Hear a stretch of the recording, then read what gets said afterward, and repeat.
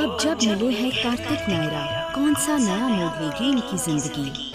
ये रिश्ता क्या कहलाता है? सोमवार से शुक्रवार रात साढ़े नौ बजे स्टार प्लस और हॉटस्टार